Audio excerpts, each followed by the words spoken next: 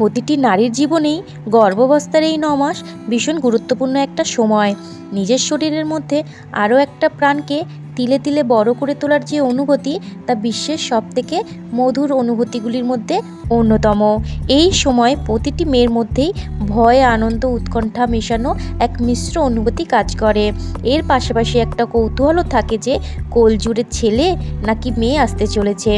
যদিও আমাদের দেশে আইন অনুযায়ী গর্ভস্থ শিশুর লিঙ্গ নির্ধারণ আইনত দণ্ডনীয় অপরাধ, কিন্তু তা সত্ত্বেও গর্ভবতী মায়ের বেশ কিছু আচার আচরণ খাদ্যাভাস এবং লক্ষণ থেকে বোঝা যায় যে, গর্ভের সন্তান ছেলে না মেয়ে। এই সব কিছু জানতে হলে ভিডিওটি পুরো দেখতে হবে।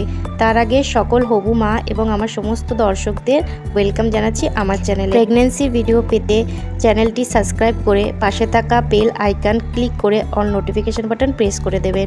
এতে করে আমরা ভিডিও আপলোড করার সাথে সাথে নোটিফিকেশান আপনাদের কাছে পৌঁছে যাবে। তো চলুন মূল ভিডিওতে আসা যাক। সাধারণত অন্তঃসত্ত্বা অবস্থায় সকালবেলা ঘুম থেকে উঠে মর্নিং সিকনেস অনুভূতি হয়। সকালে বিছানা ছেড়ে ওঠার পর আপনার গর্ভে পুত্র সন্তান থাকলে সেরকম দুর্বলতা অনুভব হয় না। যদি অন্তঃসত্ত্বা অবস্থায় সকালবেলা আপনি খুব বেশি দুর্বলতা অনুভব করেন, তাহলে বুঝতে হবে আপনার গর্ভস্থ সন্তান কন্যা। গর্ভস্থ সন্তান যদি পুত্র থাকে, তাহলে আপনার চুল হবে গ্লসি এবং চকচকে। আর যদি আপনার গর্ভে কন্যা সন্তান থাকে, তাহলে আপনার চুল হবে দুর্বল, পাতলা এবং উজ্জ্বলতা শূন্য। আপনি যখন অন্তঃসত্ত্বা অবস্থায় ঘুমান, তখন যদি বেশিরভাগ সময় আপনি বাঁ দিকে কাত হয়ে শুয়ে থাকেন, তাহলে জানতে হবে আপনি একটি ফুটফুটে পুত্র সন্তান জন্ম দিতে চলেছেন। আর যদি আপনি বেশিরভাগ সময় ডান দিকে কাত হয়ে শুয়ে থাকেন, তাহলে জানতে হবে আপনি একটি মিষ্টি কন্যা সন্তানের মা হতে চলেছেন। অন্তঃসত্ত্বা অবস্থায় মাঝে মধ্যেই যদি খুব বেশি মিষ্টি জাতীয় খাবার, যেমন চকলেট, সন্দেশ, আইসক্রিম খেতে ইচ্ছা করে, তাহলে আপনি জেনে নিন, অল্প দিনের মধ্যে উপহার পেতে চলেছেন একটি ফুটফুটে কন্যা সন্তান। আর নোনতা খাবার, স্ন্যাক্স বা কচুরি, ঝাল ঝাল জাতীয় জিনিস যদি আপনার খাবার প্রবল ইচ্ছা হয়, তাহলে বুঝতে হবে পুত্র সন্তান আসতে চলেছে আপনার কোলে। অন্তঃসত্ত্বা অবস্থায় থাকার সময় আপনার শরীরে ঘন ঘন অন্তঃক্ষরা গ্রন্থির ক্ষরণের পরিবর্তন হয়। আর এই পরিবর্তনের জন্য আপনার ইউরিনের বা প্রস্রবের রঙও থেকে থেকে পরিবর্তন হতে থাকে। যদি বেশিরভাগ সময় আপনার প্রস্রবের রং ফিকে রঙের বা সাদা, ধোয়াটে রঙের হয়, তাহলে নিশ্চিন্ত থাকুন, আপনি একটি কন্যা সন্তানের মা হতে চলেছেন। আর অপরদিকে পুত্র সন্তান হলে প্রস্রবের রং হয় উজ্জ্বল হলদেটে। অন্তঃসত্ত্বা থাকাকালীন যতই প্রসবের দিন এগিয়ে আসতে থাকে, ততই আপনার স্তনের সাইজও বাড়তে থাকে। প্রাকৃতিক কারণে আপনার শিশুর পুষ্টির জন্য এই সময় যদি ডান দিকের স্তনের সাইজ বাম দিকের স্তনের সাইজের থেকে বড় হয়, তাহলে আপনি নিশ্চিত হতে পারেন আপনি একটি ফুটফুটে পুত্র সন্তান জন্ম দিতে চলেছেন।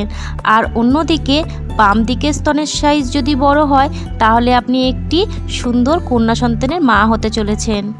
অন্তঃসত্ত্বা থাকাকালীন ঘন ঘন হরমোনাল পরিবর্তনের জন্য আপনার মুখে যদি খুব বেশি মাত্রায় ব্রণ, ফোড়া, ব্লিস্টার, স্কিন র্যাশ সহ নানা ধরনের চর্মরোগ উপস্থিত হতে থাকে, তাহলে এটাও একটা লক্ষণ যে আপনি কন্যা সন্তানের মা হতে চলেছে আর অপরদিকে যদি আপনার গর্ভে ছেলে সন্তান থাকে, তাহলে স্কিনে এত বেশি প্রবলেম দেখা দেয় না।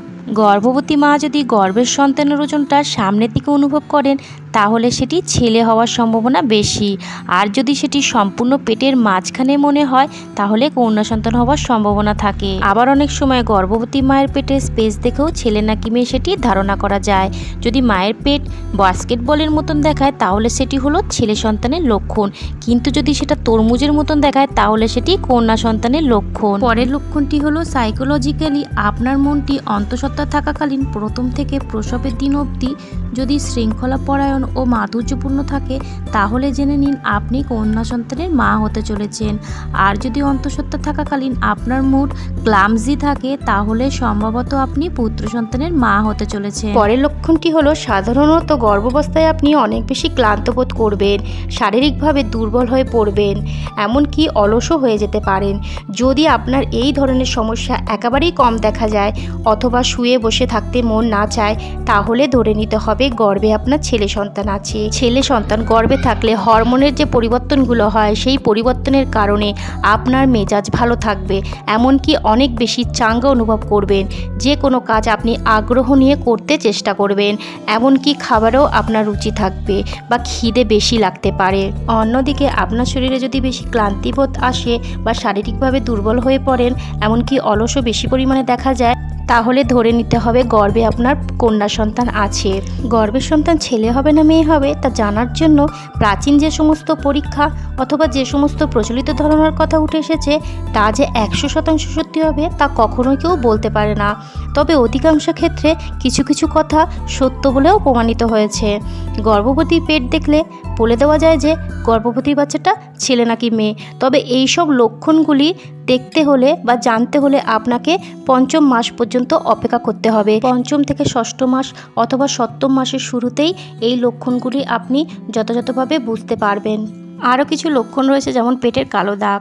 মোটামুটি গর্ভাবস্থায় সপ্তম মাস থেকে এই দাগ দেখতে পাওয়া যায়। এটি হচ্ছে তলপেট থেকে একেবারে পাজর অবধি একটা দাগ। কারোর কারোর ক্ষেত্রে এই দাগটি তলপেট থেকে একেবারে পাজরের অবধি চলে যায়। কোনো প্রকার আঁকাবাঁকা ছাড়াই তাদের পেটে ছেলে বাচ্চা হওয়ার সম্ভাবনা খুব বেশি। কারোর কারোর তলপেট থেকে নাভি পর্যন্ত থাকে, আবার কারোর তলপেট থেকে পাজর অবধি থাকলেও আঁকাবাঁকা অবস্থায় থাকে, আবার শেষের দিকে মিলেও যায়। এমনটি হয়ে থাকলে তাদের গর্ভে কন্যা সন্তান আছে বলে ধরে নিতে হবে। গর্ভবতীর যে বিভিন্ন লক্ষণ দেখে বলা হয় ছেলে হবে না মেয়ে হবে, এই সবই কিন্তু প্রচলিত ধারণা বা প্রাচীন যুগে মানুষদের ধারণা। এই ধারণাগুলি কোনো বৈজ্ঞানিক ভিত্তি নেই। বৈজ্ঞানিকভাবে এইগুলো কিন্তু একেবারেই ভিত্তিহীন। তবে কিছু কিছু ক্ষেত্রে আপনার সাথে এই লক্ষণগুলি কিন্তু মিলেও যেতে পারে। তবে আমরা আবারও বলব, ছেলে কিংবা মেয়ে, যাই হোক না কেন, সে তো আপনারই অংশ। কাজেই সাদর আমন্ত্রণ জানানো আপনাদের কর্তব্য। ভিডিওটি যদি ভালো লেগে থাকে বা আপনি উপকৃত হলে লাইক, কমেন্ট, শেয়ার করুন এবং চ্যানেলটি সাবস্ক্রাইব করতে ভুলবেন না। তো সবাই ভালো থাকবেন, সুস্থ থাকবেন। Take care and good bye.